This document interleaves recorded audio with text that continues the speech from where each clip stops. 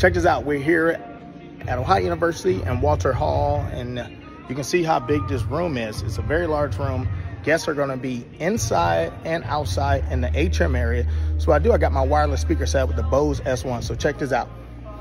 Down here under my booth, I have the Yamaha mixer and I have the transmitter. See that? The transmitter is feeding out from the headphone out. So you see headphone out, transmitter. You see that? Did you catch that?